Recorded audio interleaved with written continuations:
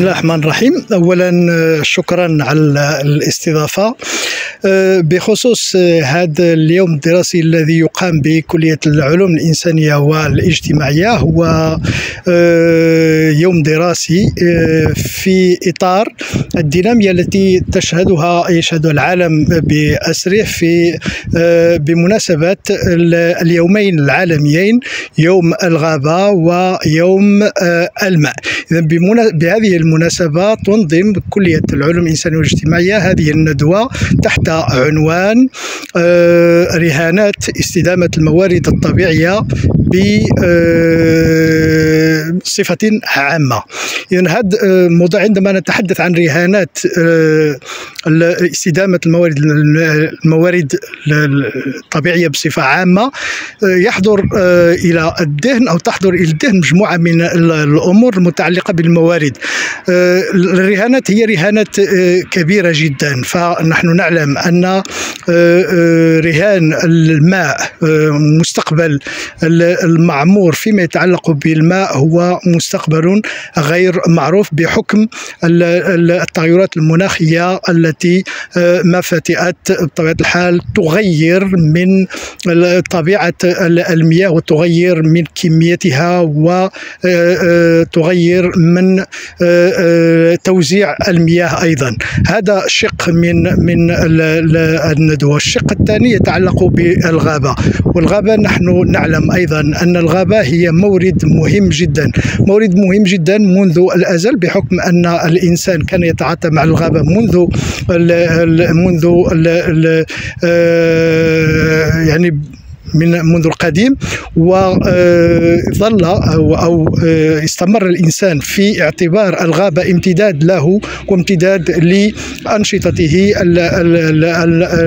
المختلفة. وبالتالي اليوم إذا كنا نحتفي بيوم العالمي للغابة فهو من أجل صيانة هذه الغابة من أجل الحفاظ على عليها خاصة وأن الغابة كما تعرفون لها دور كبير.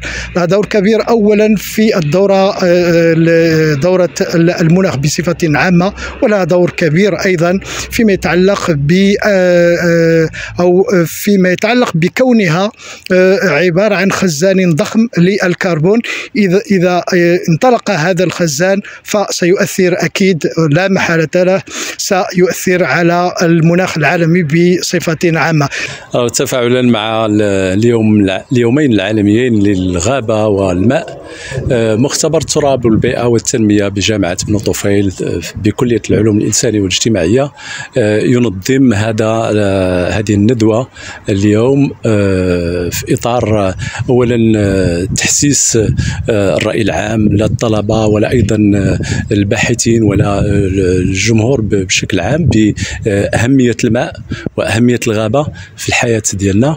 بطبيعة الحال العروض المبرمجة في هذا هذا اللقاء هي عروض عروض تتناول مختلف القضايا التي لها علاقة بإشكالية الماء على المستوى الوطني أو إشكالية الماء على مستوى آه، جهوي. آه، الإمكانيات الموجودة التحديات آه، سواء ما يتعلق بالتغيرات المناخية واثرها على العجز المائي أو ما يتعلق بالتنافس فيما يخص الموارد المائية ما بين مختلف المستعملين. فالندوة ستعالج هذه القضايا وبطبيعة الحال ستخرج بتوصيات مهمة.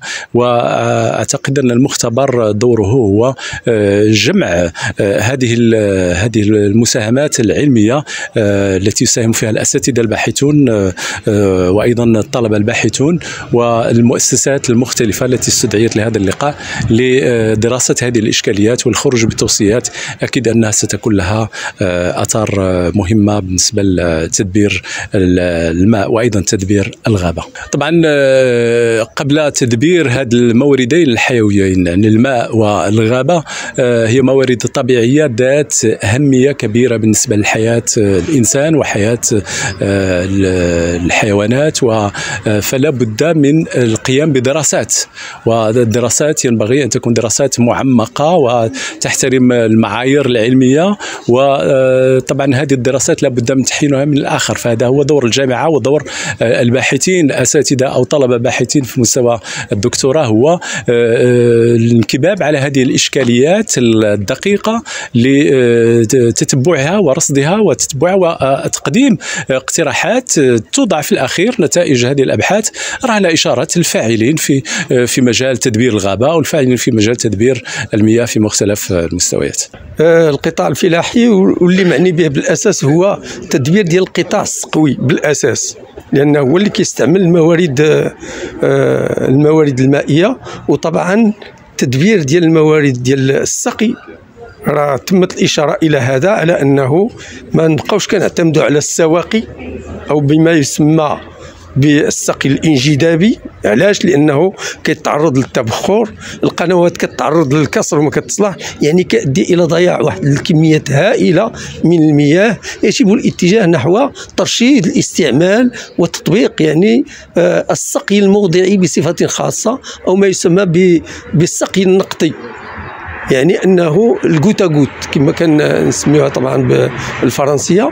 وهاد الأساليب من شأنها أن توفر أو أن يعني توفر جزءا مهما من آه، المياه. كذلك ليس فقط التدبير آه الإرادي يعني الإرادي بمعنى التدخل ديال الدولة هو الذي يلعب دوره ولكن يجب كذلك الاهتمام بالجانب آه التقليدي.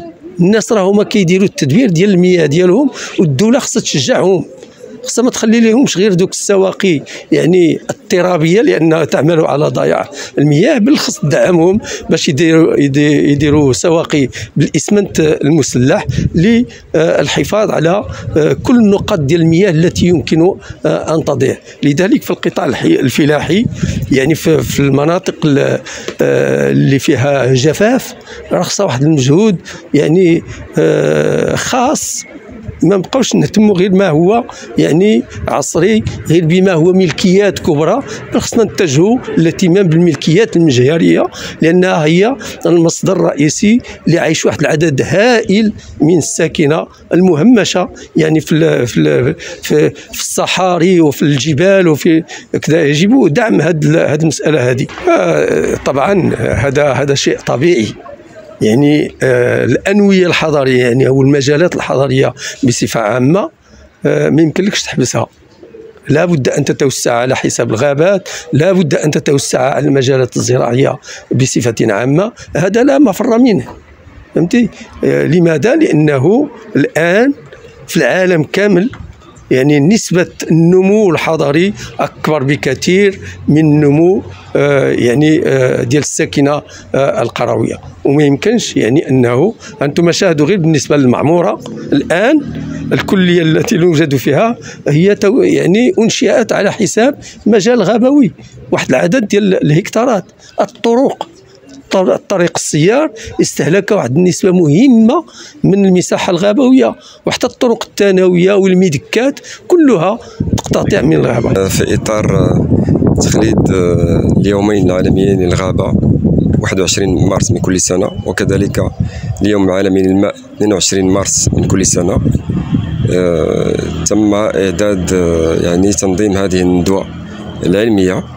في رحاب كلية العلوم الإنسانية والإجتماعية بن طفيل بالقنيطره وفي هذا الباب يعني كما كتلاحظوا آه، تتعرف هذه الندوة مشاركة يعني عده مداخلات علمية قيمة اللي كتهدف بالأساس إلى يعني استجواب كل أو التساؤلات حول يعني تدهور يعني المجالات الغابوية. وكذلك يعني قلة الموارد المائية بصفة عامة في ظل التغيرات المناخية اللي كتعرفها بلادنا. وكذلك تم إشراك كذلك يعني طلبة باحثين طلبة الدكتوراه اللي كذلك ساهموا ب يعني مداخلات عبر ملصقات لعرض أهم النتائج يعني الدقيقة في هذا يعني دائما في هذا في هذا الباب تخلد الجامعة هذا اليوم آه، احتفالا باليومين العالميين للماء والغابة. بتنظيمها لندوة وطنية آه، تضم نخبة من الأساتذة وأيضا آه، طلبة الدكتوراه في مواضيع تهم استدامة الموارد الطبيعية. وندوة عرفت حضور مكثف للطلبة الباحثين وأيضا للخبراء.